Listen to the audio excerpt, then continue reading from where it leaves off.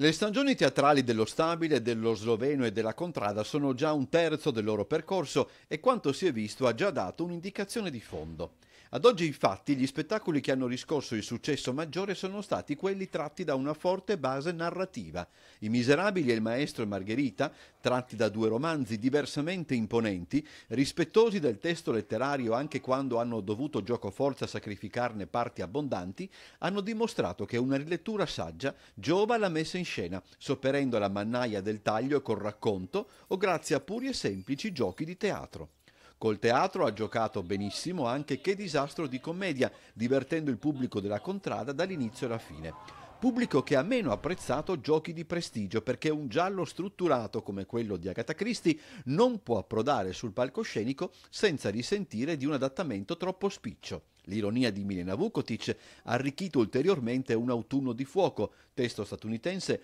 già di per sé in grado di addolcire una vicenda sulla carta foriera di foschi pensieri, laddove su un versante più disimpegnato Basa Banchi repete